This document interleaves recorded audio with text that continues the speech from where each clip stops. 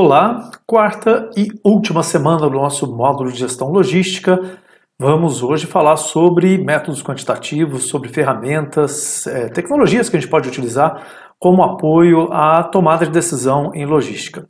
Como todo sistema de apoio é, à tomada de decisão, os softwares, os sistemas disponíveis, eles não tomam a decisão por você, eles te fornecem informações para que você possa tomar uma decisão embasada em dados, né? ou que a gente está na moda hoje, falar data driven.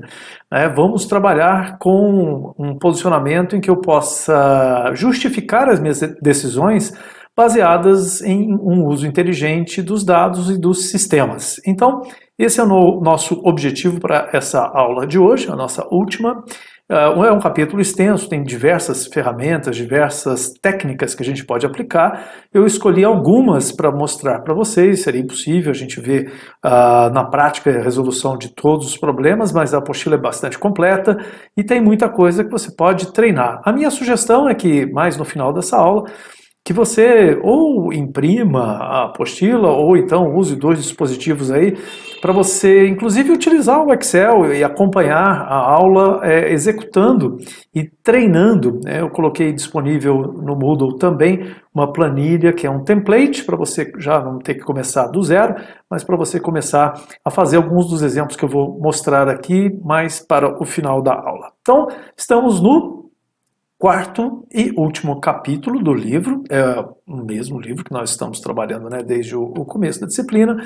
Gestão Pública Municipal é o curso e o livro é Gestão Logística, do Rodrigo de Alvarenga Rosa. É, e nós vamos falar hoje sobre os métodos quantitativos e as ferramentas computacionais para a gente utilizar e aplicar dentro da gestão logística.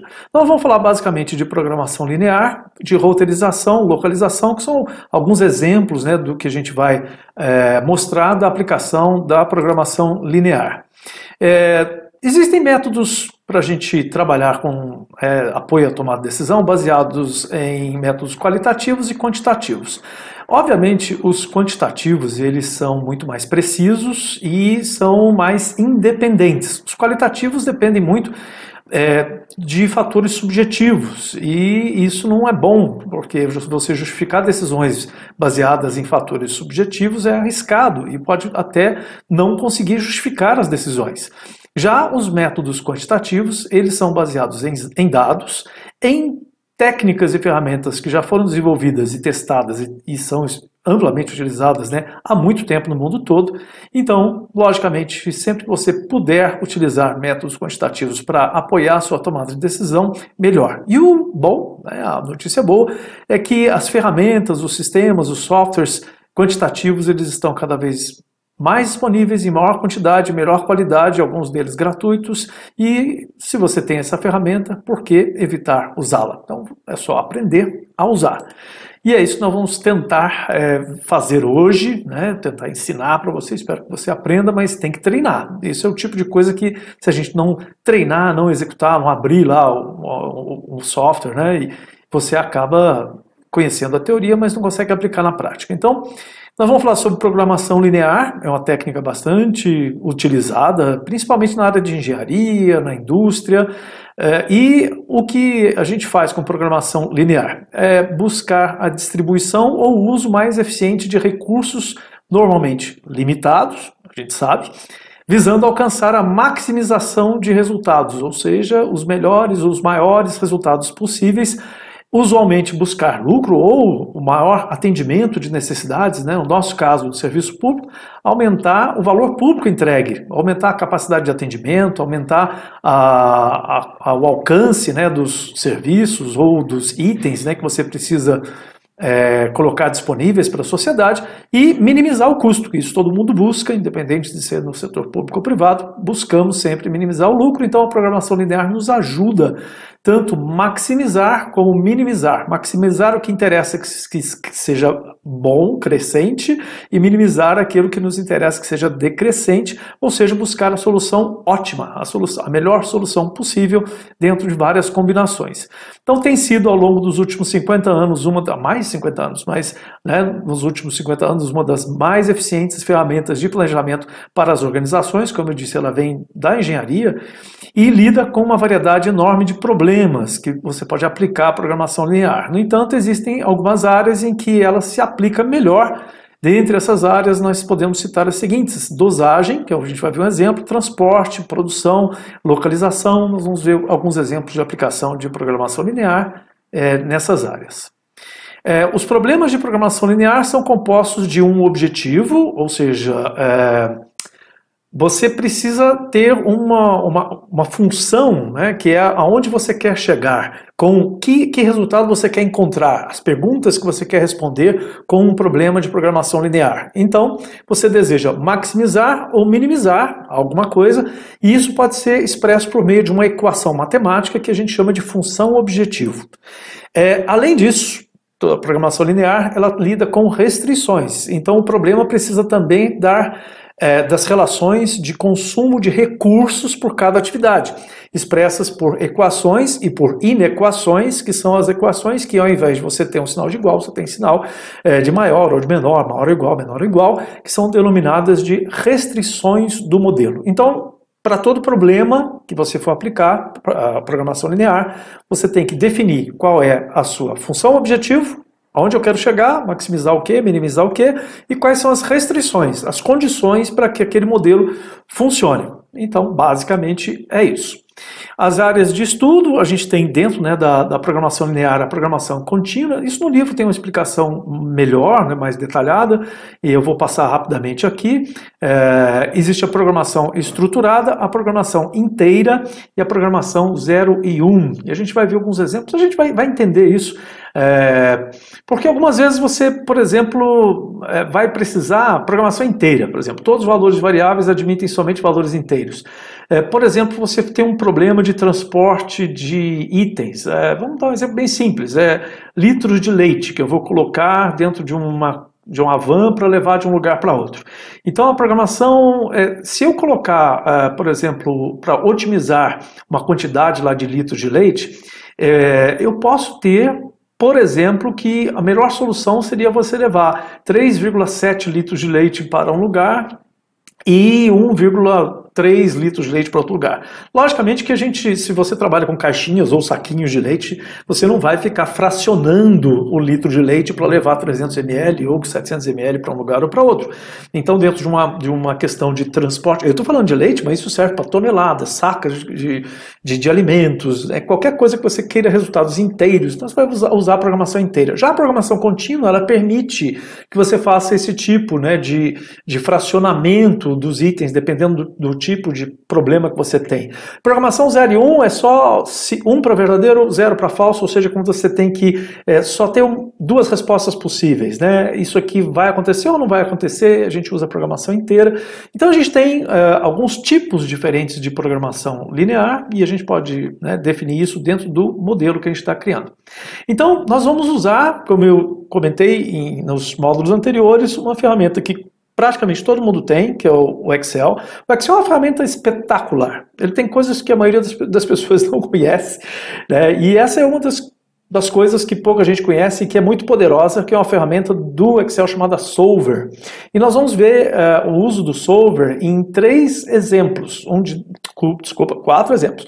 Um de dosagem, um de transporte, um de encontrar o menor caminho e o outro de localização.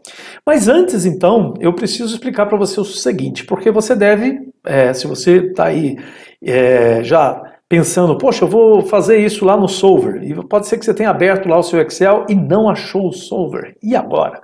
É que o Solver ele é um suplemento do Excel que ele não vem instalado como padrão. Ele está disponível dentro do pacote do Excel, do pacote Office, mas ele não está instalado. Então ele só vai aparecer se você mandar instalar esse suplemento lá.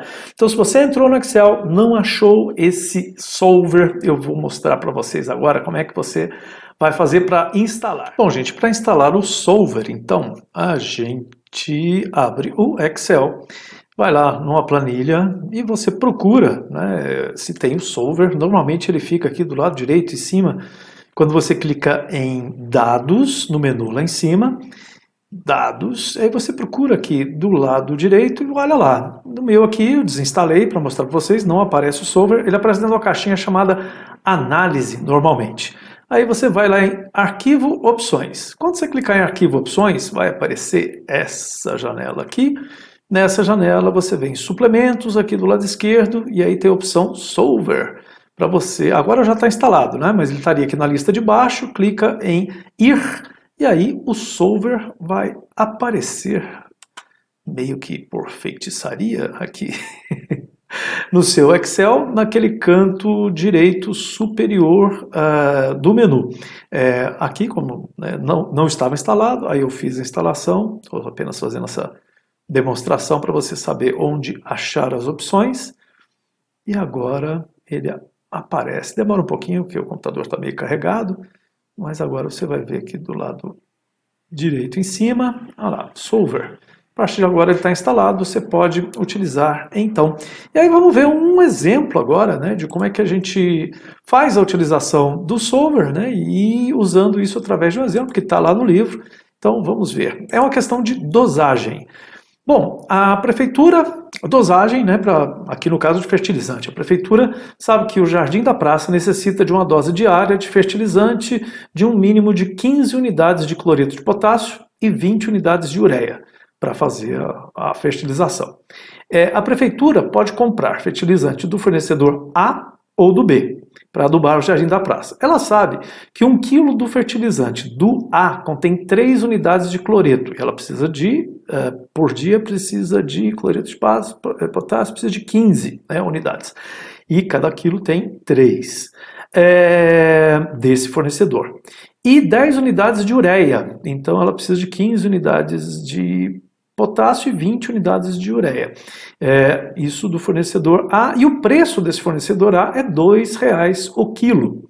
Também sabe que um quilo de fertilizante do fornecedor B contém 6 unidades de cloreto de potássio, ou seja, o dobro do outro.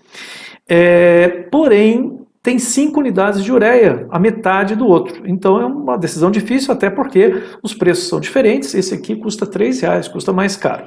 Então a prefeitura deseja, é um problema complexo, é, a prefeitura deseja saber a quantidade de fertilizante que deve ser comprada de cada fornecedor, de modo que as exigências de fertilizante para o jardim da praça sejam satisfeitas, a quantidade de ureia né, e a quantidade de cloreto de potássio, ou seja, 15 de cloreto de potássio e 20 de unidade de ureia mas tudo isso com o mínimo preço, mínimo custo possível. E aí a gente vai executar isso dentro do Excel. Então eu já trouxe uma planilha já pré-preenchida, né, que ela está inclusive disponível, né, o template está disponível no, no Moodle. E aí nessa planilha a gente vai traduzir isso aqui para algumas tabelas, né? Uma tabela que tenha lá uma quantidade, né? Vamos ver aqui, ó, a, o preço né, do fornecedor A, R$ reais, o preço do fornecedor B, R$ reais.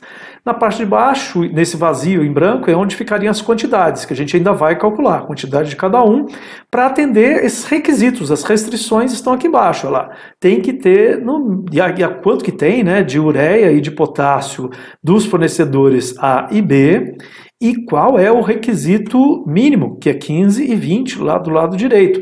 Né? Então, você tem as quantidades fornecidas, as quantidades que são necessárias do lado de cá. E no final a gente vai ter o resultado, que é a multiplicação da quantidade vezes o preço, com as diversas combinações que vão ser feitas aqui.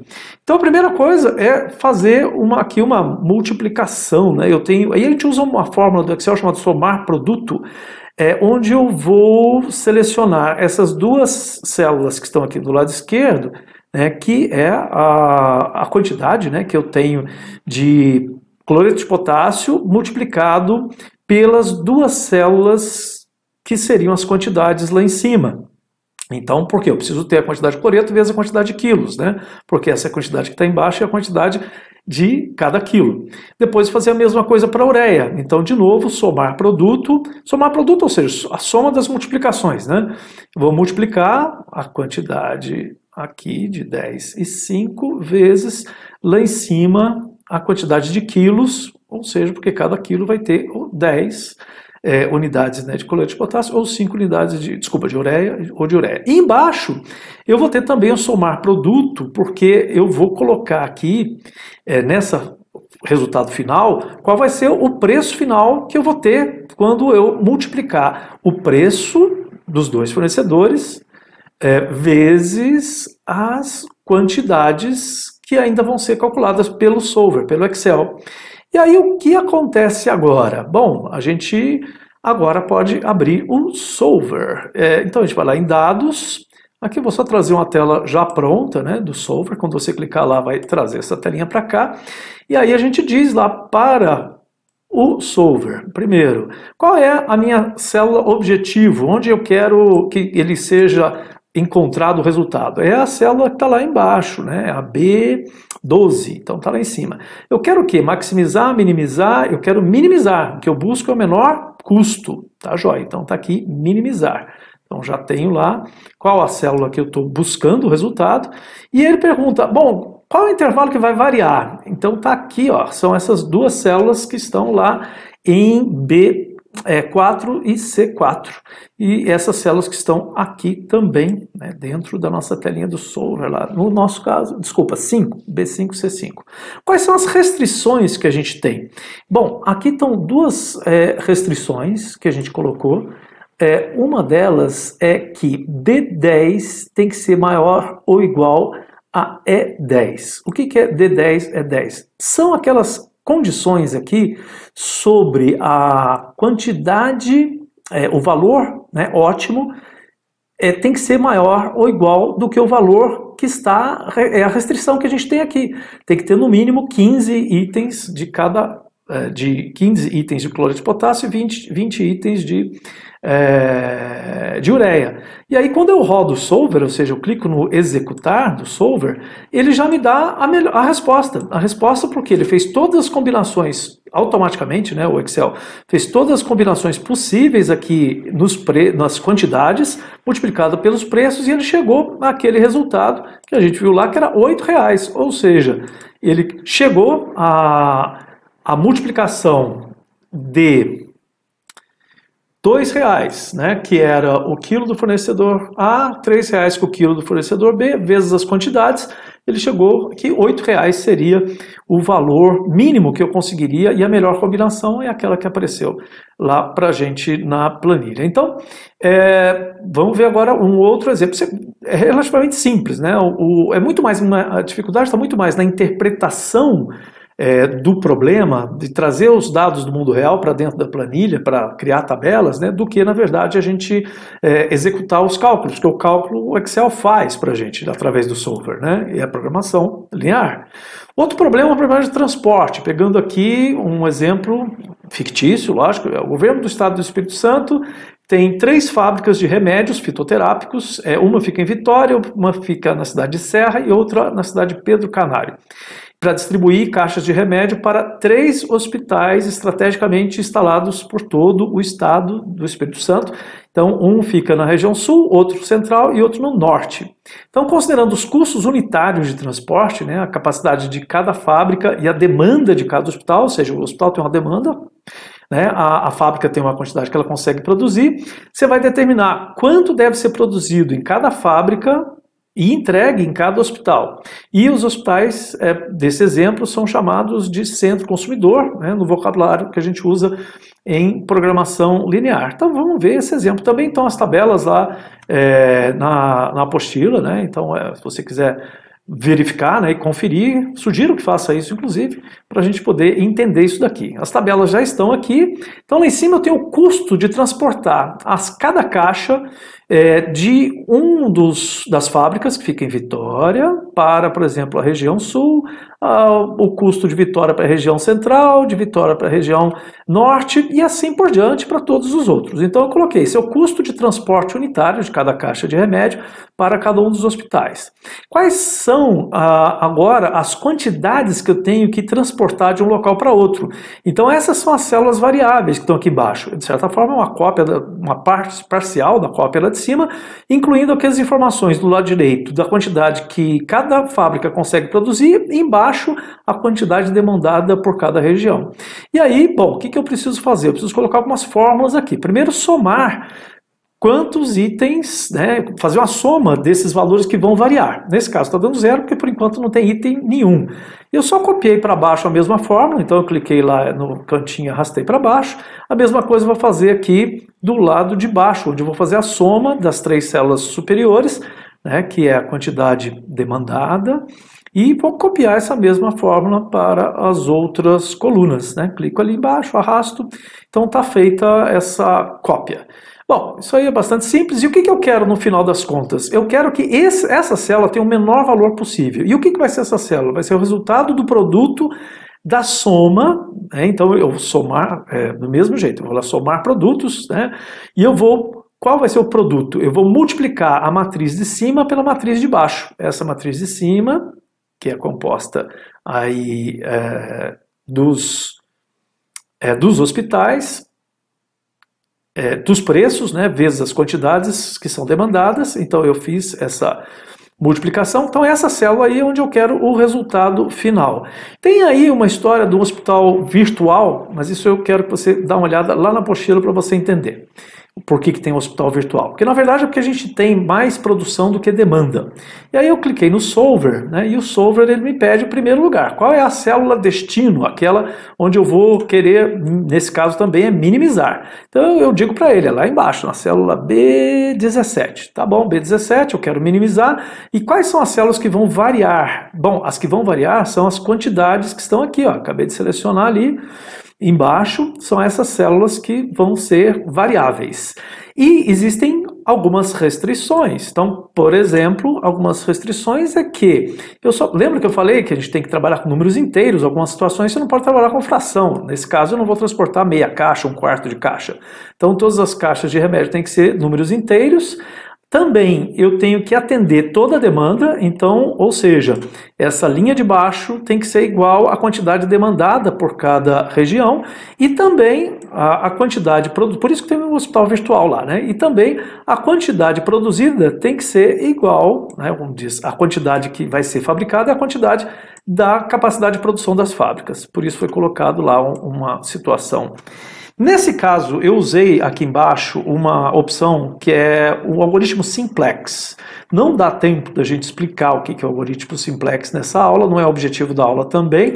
Né? Mas aí o que eu tenho aqui agora no final, quando eu clicar lá em resolver, ele vai fazer a variação, né? e aqui tudo isso ele está fazendo, eu estou ainda selecionando lá as restrições aqui, né? para dizer que a quantidade demandada tem que ser igual à soma das quantidades que estão aqui embaixo, a quantidade produzida tem que ser igual à soma das quantidades né, fabricadas pelas fábricas. Então são 6.500 caixas que são fabricadas e 6.500 é, itens, caixas que são demandadas. E aí embaixo eu tenho lá 110 mil reais essa é, é a melhor combinação possível, levando, por exemplo, aí mostrando as quantidades, né? Olha lá, eu do, da cidade de Vitória eu vou levar uma quantidade né, para a região central, uh, da cidade de. E, e, assim por diante, né? De Serra. Então ele fez a melhor combinação possível para fazer essa fabricação, considerando os custos né, de produção e de transporte desses itens. Então, como eu disse, o mais complicado normalmente não é você executar o solver, mas você chegar a esses valores. É um trabalho de pesquisa, de levantamento, de custos, né, de números, para você criar essas tabelas. Depois disso, você implanta é, coloca isso de forma organizada, tanto lá em cima, né, a função objetivo como as suas restrições, e aí no final você tem, quando roda o solver, você tem o melhor, nesse caso, o menor valor possível com as todas as combinações. Então o Excel teve um trabalho danado, testou todas as combinações com todas as quantidades vezes as é, vezes a, o preço, né, o custo de transporte, e ele chegou a esse melhor resultado. Outro exemplo, encontrar o menor caminho. Esse é um exemplo bastante comum de programação linear também. Então, vamos lá. Devido às fortes chuvas, houve uma, um grande deslizamento de terra, né, deixando diversas famílias de uma determinada comunidade desabrigadas. A Defesa Civil do Estado, ela tem que ir até essa comunidade a fim de levar socorro médico, alimentos, tendas e tudo mais que seja necessário para prestar socorro a essa comunidade atingida. Então tem um mapa que vai aparecer no próximo slide. Ele mostra, é, ele mostra a, como é que se faz, qual é o caminho para chegar nessa comunidade a partir da sede da Defesa Civil. Então elas estão representadas as cidades pelas quais os veículos da Defesa Civil podem passar e as distâncias entre cada uma dessas cidades. E a Defesa Civil deseja saber qual é o menor caminho. Provavelmente vai ser o mais rápido ou mais econômico é, em quilômetros é, que se deve seguir para chegar a uma comunidade atingida. É, veja que esse problema pode ser adaptado também, em vez de calcular quilômetros, poderia colocar por tempo, se você calcula o tempo né, de, de, viagem de cada um desses municípios, ou até do custo, né, do gasto de combustível para chegar de um local até outro. Então, você pode fazer adaptações nisso. Essa aqui é o que a gente chamaria de rede. Né? Essa rede ela mostra, por exemplo, que da sede você tem que duas opções de saída. Eu posso ir para a cidade A ou para a cidade B. Eu não posso ir para nenhuma outra cidade direto da sede.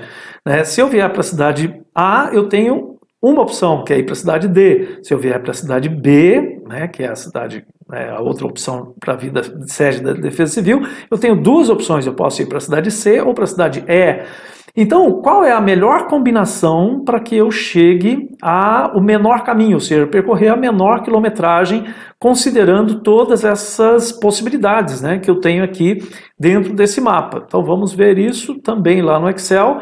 O que eu fiz aqui foi exatamente traduzir aquele mapa para cá, onde eu tenho uma tabela que coloca lá cada cidade, coloca lá, cidade 1 para a cidade 2 tem tantos quilômetros, da cidade 1 para a cidade 3 tem tantos quilômetros, e aqui o código da cidade está nessa tabelinha do lado direito, né, que é, dá um índice lá e coloca a sede é a número 1, e aí você tem as outras cidades para onde você pode ir e essas combinações lá. Mais embaixo você tem uma outra tabela onde foi colocado o seguinte, né, na vertical aqui uh, as cidades, né, e na horizontal lá em cima também, e aí você faz. Bom, como é que eu faço para sair da sede? Quais são as opções? De acordo com aquele mapa lá, você olha, olha, eu consigo ir da cidade da sede para a cidade A. Ok, então eu coloco zero lá na cidade. Foi uma convenção, né, para a gente chegar a essa, essa conclusão. Zero.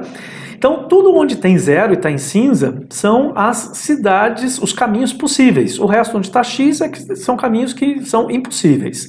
Do lado direito aqui, eu vou fazer uma soma é, dos, dos números que estão ali. Então, eu vou somar tudo que está aqui nessa, é, nessa linha.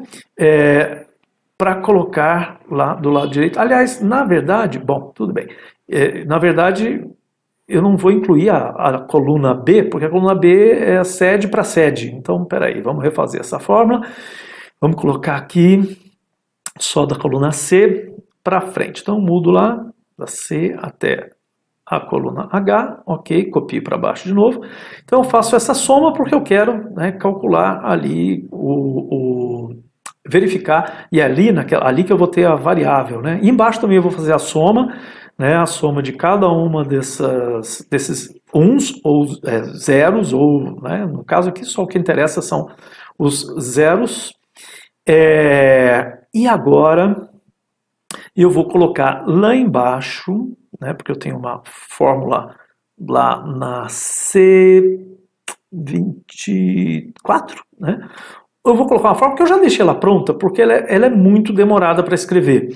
Mas é uma fórmula que faz uma multiplicação, por exemplo, dali, da cidade, daquele zero que está lá entre a sede e a cidade A, é, eu vou multiplicar a quantidade de quilômetros que está ali em cima, 40, per, ou por zero ou por um, porque esse zero, na verdade, é porque tá, eu estou no começo, então tudo é zero.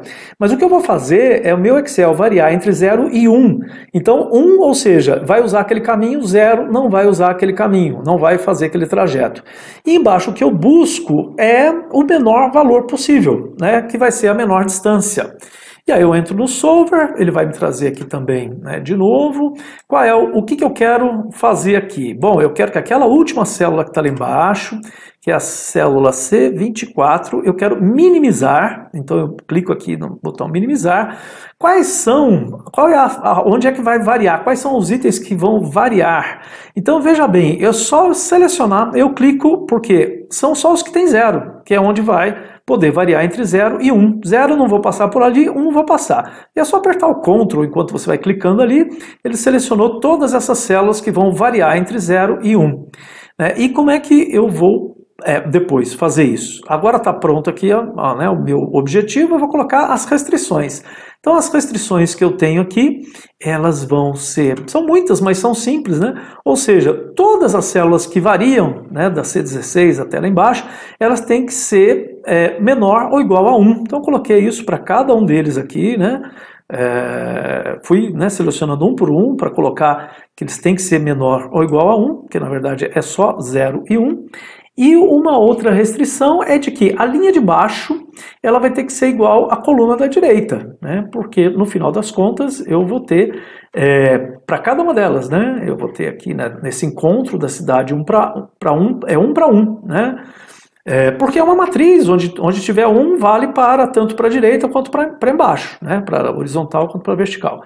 E aí eu clico no resolver lá do solver, ele vai rodar, né, executar esse, é, esse modelo para mim e vai me dar o resultado que nesse caso vai ser, é, vamos lá, ele vai fazer agora a mágica, vai testar todas as possibilidades, né, multiplicando zeros e uns pela, né, agora fazendo lá essa última restrição, é, zeros e uns pelos quilômetros né, de cada um, daqueles trajetos que está lá na nossa tabela.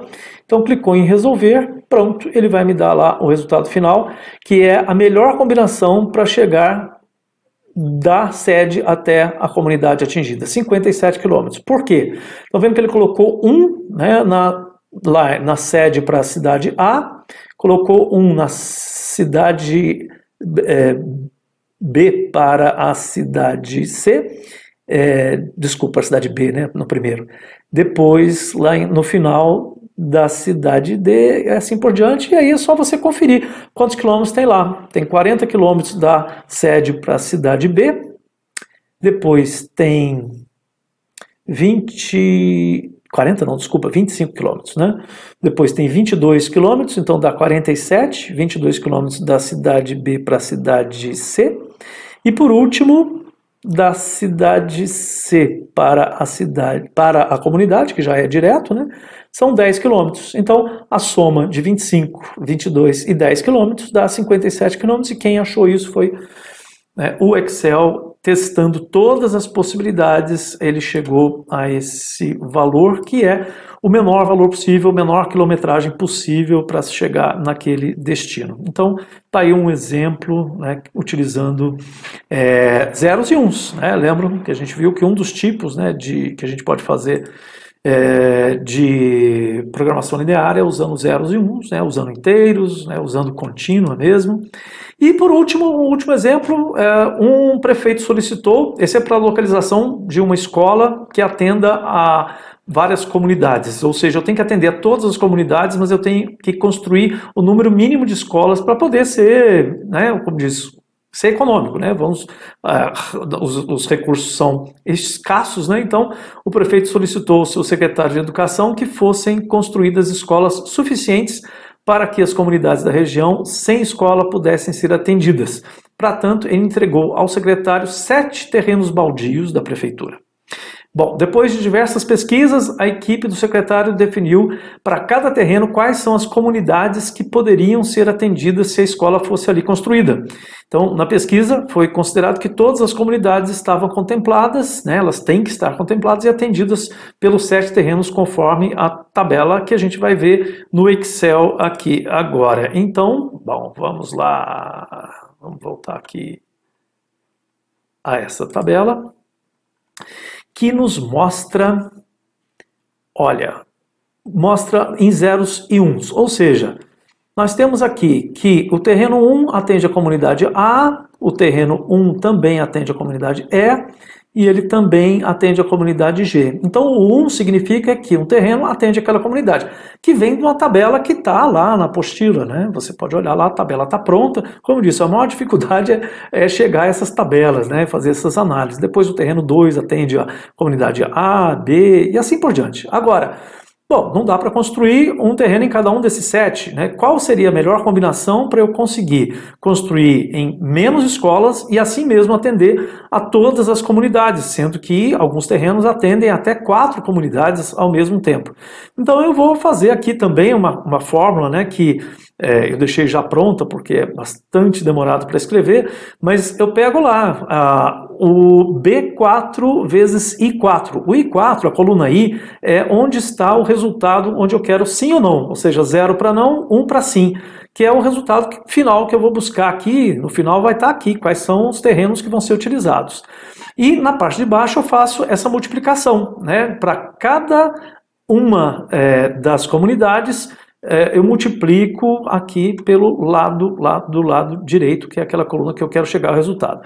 E o que, que eu quero? Eu quero minimizar. Então eu pego aqui embaixo né, a soma dessa coluna aí, ou seja, eu quero minimizar a quantidade de terrenos para poder, poder, assim mesmo, atender a todas as comunidades. Né? Então coloquei lá uma fórmula, tinha dado errado, agora vou fazer de novo, vai dar certo, somando a todos os itens que eu quero variar para chegar ao melhor resultado.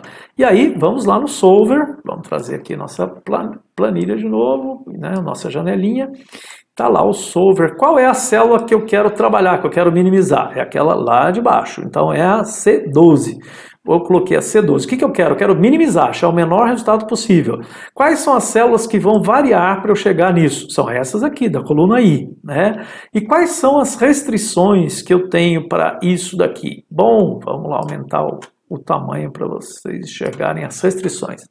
Então, primeiro que lá na coluna é, em B10 até H10, ou seja, lá embaixo, né, na, na linha 10, é, tudo tem que ser maior ou igual a 1, porque todas as comunidades têm que ser atendidas. Então, todos esses, essa faixa tem que ser maior ou igual a 1. Depois, a outra restrição é que de I3 a I9, ou seja, na coluna I, todo, tudo tem que ser menor ou igual a 1, ou seja, ou 0 ou 1. Né? E também que na coluna I3 a I9 tem que ser números inteiros, até por isso, porque eu quero só 0 e 1, eu não quero que dê 0,5, porque eu quero usar meio terreno, um terço de um terreno. Né? Então, já fiz essas restrições aqui, e aí agora eu vou clicar lá em resolver no Solver e ele vai trazer o melhor resultado possível né, para mim é, usando essa função e essas restrições. Ok, e aí qual vai ser o resultado? Vamos lá. Ah, porque eu ainda estou fazendo aqui, na verdade eu estou tudo pronto, mas lá ainda estou fazendo, a, criando as restrições. Agora que as restrições já estão criadas, né? Coloquei aqui que tem que ser inteiro, que tem que ser menor ou igual a 1, lá embaixo tem que ser maior é, e, e, e né, na linha 10 tem que ser maior ou igual a 1. Ok, quando eu rodo o modelo, ele achou os seguintes resultados. Do lado direito aqui, ele achou lá o terreno 2, o terreno 3 e o terreno 5 atendem a todas as comunidades. Né? Então, aqui embaixo, todas as comunidades foram contempladas, né? algumas mais de uma vez, porque elas podem escolher se ela quer estudar na escola, né, num lugar ou no outro. E do lado direito a gente tem lá né, a, a, o terreno 1, terreno, desculpa, o 2, o 3 e o 5. E embaixo, lá no final, ou seja, eu cheguei a 3. Então, com três construções de escolas, nesses é, sete terrenos disponíveis, eu consigo atender as sete comunidades que eu queria ou quero atender né, dentro do meu planejamento.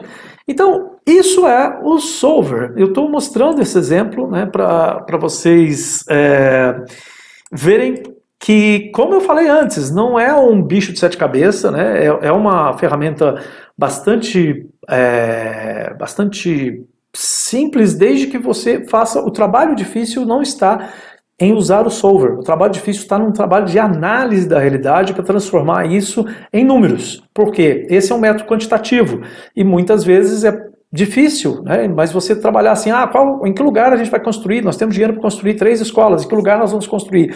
Você deixar pelo fator subjetivo, lógico, vão ter várias preferências diferentes. Uma pessoa fala, ah, eu gosto mais de tal lugar, aquele lugar é mais é, perto da minha casa, aquele lugar é, é, mais legal, aquele lugar é mais amplo, é mais bonito, é mais não sei o quê, mas isso são tudo fatores subjetivos. Né? Quando você chega a números, e isso é o mais difícil, você consegue realmente comprovar ou apresentar né, justificativas muito mais fortes para as suas decisões. E é por isso que a gente usa.